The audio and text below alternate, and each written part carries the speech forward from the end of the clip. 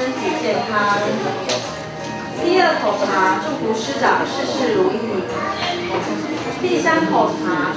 名善关怀协会日前也热闹办理感恩茶会活动，除了欢送名善关怀学员的孩子们迈向人生新的学习路程，也让孩子有机会能够表达对师长们的感谢。今天是我们名善学员的这个毕业生来这一个感恩的茶会，呃，有六年毕业的，也有到最长的是九年，就在名山学院的哈。那在这当中不断的在学习，另一个行程的开始。那借这个机会。能够好好来感谢我们所有的付出的这个呃老师啊，还有工作人员啊，借这个机会来让他们来感恩一下，让这个感恩你的这个爱啊，以后能够继续传承下去。当天，明善寺住持德松法师也勉励孩子要在学业上持续努力，并要过得快乐，有能力更要帮助他人，让善的力量持续循环。我们是满心的希望孩子在这里学习。他是能够得到的，他想要的。还有就是，我希望他们将刚刚李师长所说的，如何把这一份的爱、这份的善传下去。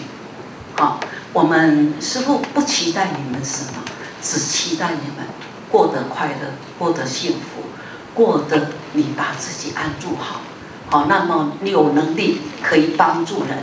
这个就是师父对你最大的期待。民善关怀协会荣誉理事长谢远参们恭喜孩子们进入新的学习路程，希望孩子们都能够不畏困难勇往直前，才能够有所成就。感恩的心，感谢有你。今天是我们明善学院的感恩茶会。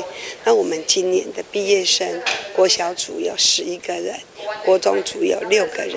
那在此，梦儿要特别的恭喜，也要祝福我们所有的毕业生。能够再进入另一个学习的里程碑都能够顺心如意，吃苦一定是必然的。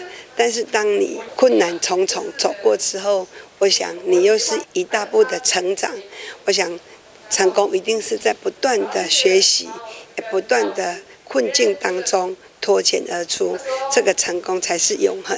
一场和中风感谢协会照顾弱势学子的爱心，祝福这些孩子进入新的阶段都能够有更好的学习成果，期待他们日后有能力时也能够尽一己之力来回馈社会。